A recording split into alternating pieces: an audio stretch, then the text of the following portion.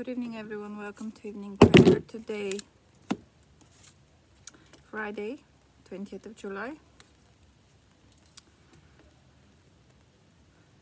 Commemoration to Margaret of Antioch, martyr of 4th century, and also Bartolome de las Casas, apostle to the Indies in 1566. O Lord, make speed to haste to save us. O Lord, make haste to help us. Blessed are you, Lord God, creator of day and night. To you be praise and glory forever. As darkness falls, you renew your promise to reveal amongst us the light of your presence. By the light of Christ, your living word, dispel the darkness of our hearts, that we may walk as children of light and sing your praises throughout the world. Blessed be God, Father, Son, and the Holy Spirit. Amen.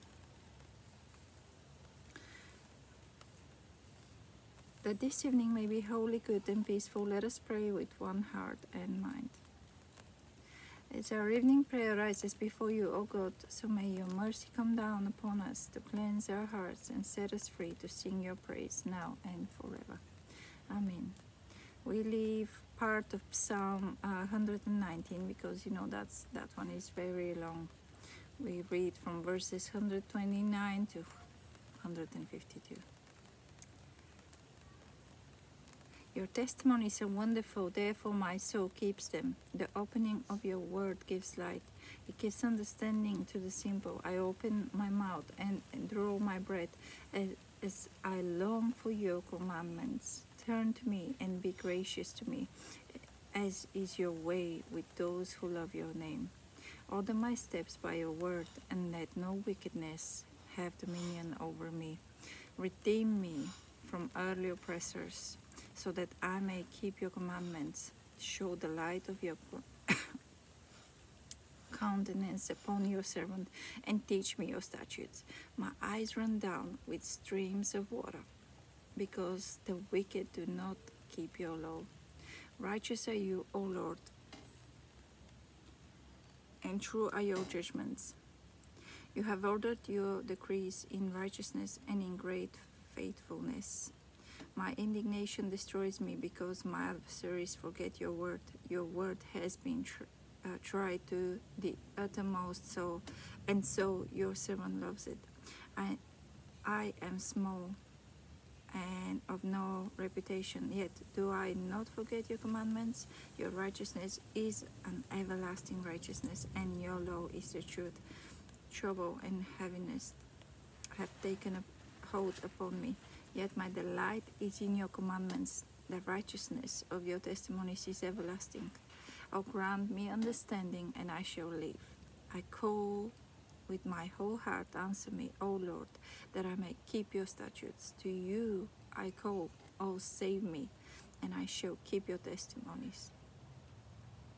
Early in the morning I cry to you, for it, your word is my tr- tr- uh, word is my trust. My eyes are open before the night watches, that I may meditate on your word. Hear my voice, O Lord, according to your faithful love, according to your judgment, give me life. They draw near, near that in malice persecute me, who are far from your law, O Lord, are near at hand. I know your commandments are true. Long have I known your testimonies that you have founded them forever. Amen. Glory to the Father, to the Son, and to the Holy Spirit, as it was in the beginning, is now, and shall be forever. I mean, I'm going to read the reflection for this whole psalm, although we read only a small part of it. This this psalm celebrates the gifts of God's law, this Uh, his Torah, his covenant instructions for his people, having redeemed his people and brought us through grace into relationship with him. God now lovingly instructs us in the way to enjoy fullness of life. Although no one keeps God's law perfectly, and in fact we abuse it throughout legalism and works and works righteousness, the psalmist reminds reminds us throughout the, this lengthy psalm of the delight that the law should be for the child of God. The psalm uses different words to describe the law, such as statutes, rules, commandments, law, word, and other similar terms. This reflects the richness of the Torah and the flour- flourishing life into which it brings us.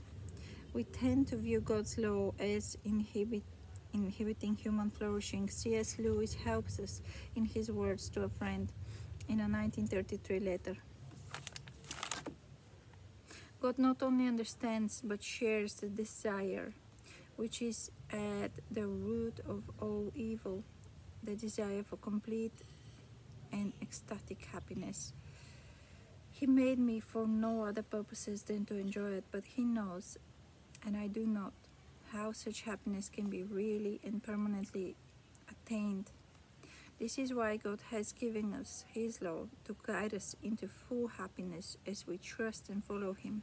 Lewis goes on to say, I think we may be quite re- uh, I think we may be quite rid of the old haunting suspicion in in it rises its head in every temptation that there is something else than God, some someone other country into which we forbid uh, he forbid us to trespass some kind of delight which he does uh, doesn't appreciate or just chooses to forbid but which would be real delight if only we were allowed to get it. The things just isn't the thing just isn't there. Whatever we desire is uh, is either what god is trying to give us as quickly as he can or else a false picture of what he's trying to give us. A false picture which would not attract us for a moment if we saw the real thing. Amen. All right. We move on to the new testament reading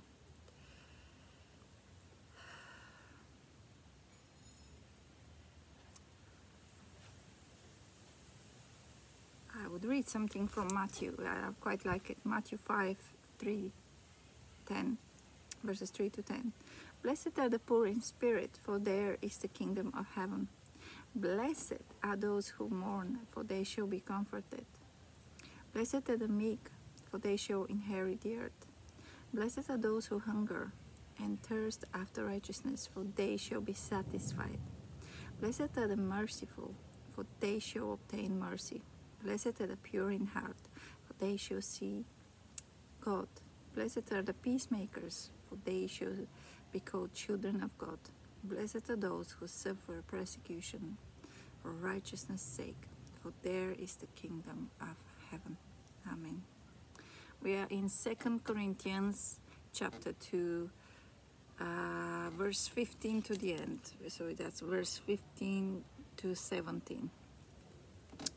But if anyone has caused pain, he has caused it not to me, but to some extent, not to exaggerate it, to all of you.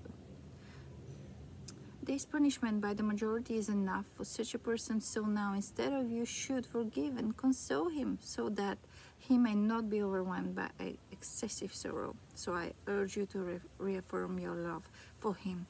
I wrote for this reason to test you and to know whether you are obedient in everything. Anyone whom you forgive, also I also forgive. What I have forgiven, if I have forgiven anything, has been for your sake in the presence of Christ.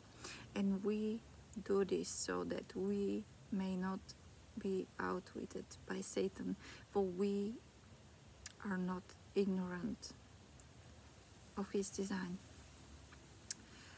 When I came to Troas to proclaim the good news of Christ, a door was opened for me in the Lord, but my mind could not rest because I did not find my brother Titus there.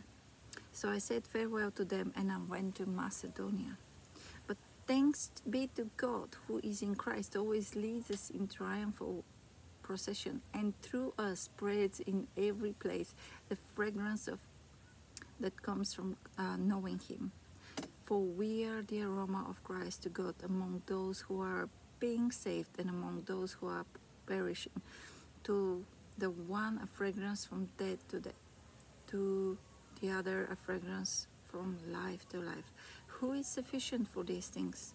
For we are not peddlers of God's word, like so many, but in Christ we speak as persons of sincerity, as persons sent from God and standing in His presence. Amen. Amen.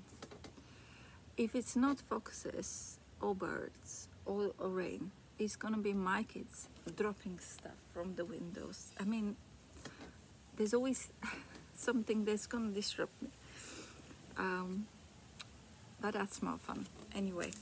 Okay, so we we proceed with um, Paul.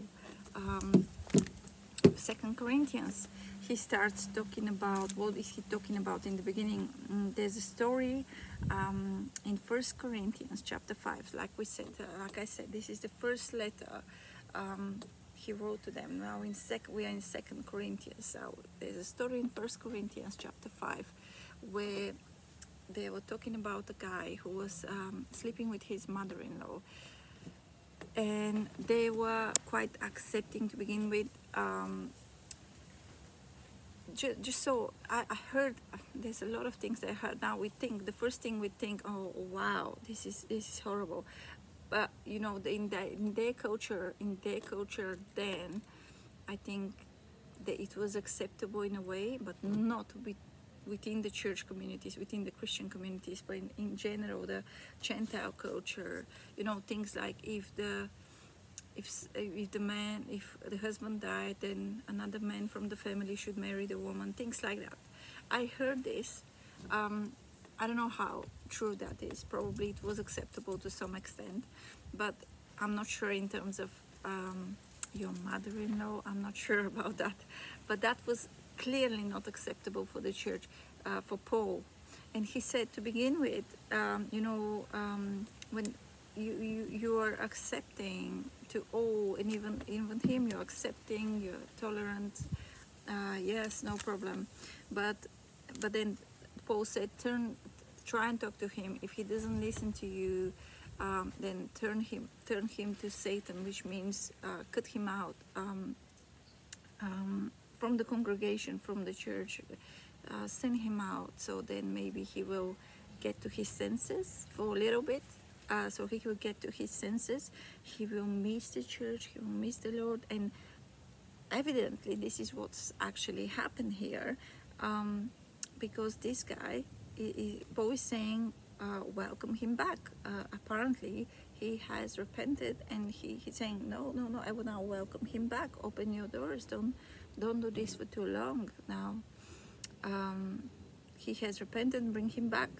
Um, Paul says, don't basically let the devil divide uh, and conquer, because that's what the devil wants to divide and conquer. This is, goes for everybody, it goes for churches, it goes for your families, uh, children and parents, you know, everybody. The, the, the devil would be quite happy if you guys, all of us, are divided because then we united we're stronger. We pray for each other we look out for each other divided. Um, we're much weaker and much easier to conquer. Verse 12 paul changes the subject. Um, he, he, he's talking about he went to find titus in troas troas and he couldn't find him there. And the um, but the Lord was opening doors. Uh, things were happening. He was serving. Great things are happening. But he didn't have peace of mind. He needed to fight to find his friend Titus because um, he needed to receive a report from him. He was the one who was bringing the message to Corinthians. He had to come back with a report of how this was received, perceived by them, and he was quite anxious to hear about that. That he. Um, so he tracks down Titus and he gets the news that most of them responded quite well. Not all of them, but most of them responded quite well. And he says, Thanks be to God in verse 14 here. It's great big triumph over the enemy. Titus brought good news and he was overjoyed. Not everybody, like I said, were responded well uh, to Paul's message, of course, and they were um, but the, you know those that didn't respond they were not doing so great. But he speaks um, um, uh, sorry. Yeah I, I still yeah lost my place in my notes. Um, what I was trying to say those that wanted to respond to his message those were the open open minds open hearts they did respond to his message. Um, and those who did will be you'll find Jesus and be saved. Um, those that didn't uh, hopefully they got there eventually. But you know maybe there was some that uh, decided to completely disregard everything he was saying and say who is he? What apostle? He's nobody. He's not apostle. He's he's a cheat or whatever. We're not going to listen to him. And unfortunately yeah that didn't go well for them so this is what in this specific passage this is what paul was saying i was really overjoyed and really happy about finding my friend and him giving me good news uh, from you guys and from the first uh, letter. Um, this is a second letter that we're reading and we're gonna continue with this tomorrow. Okay. The collected for today, Almighty and everlasting God, by whose Spirit the whole body of Christ is governed and sanctified, hear our prayer which we offer for all of your faithful people, that it, that their vocation ministry they may serve in holiness and truth to the glory of your name. Through the Lord our Savior Jesus Christ, who is alive and reigns with you in the unity of the Holy Spirit, one God, now and forever. We say together the Lord's Prayer. Our Father in heaven, hallowed be your name, your kingdom come, and your will be done on earth as in heaven.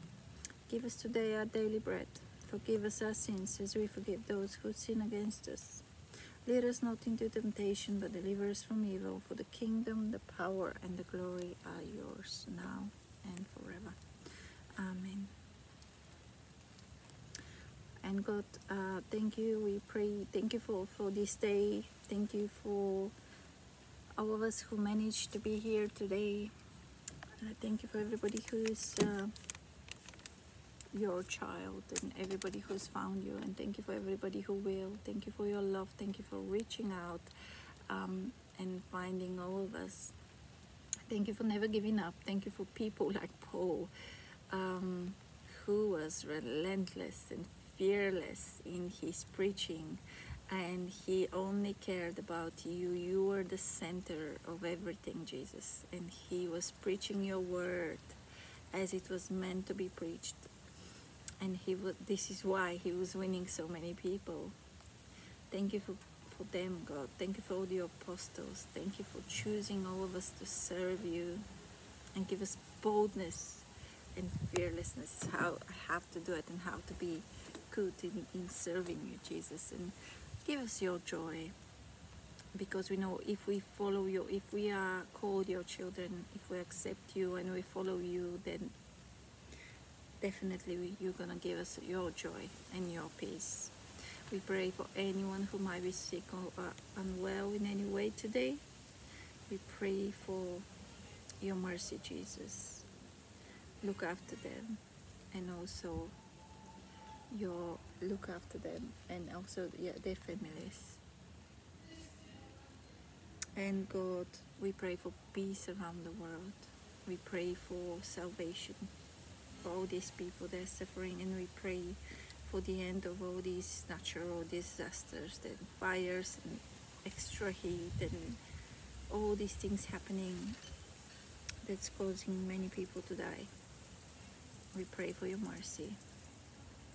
We thank you for this wonderful day and for the chance to be alive and for the chance to be happy and have our families around us. Help us to serve you. Help us to have the attitude of servants. In your precious name we pray, Jesus. Amen.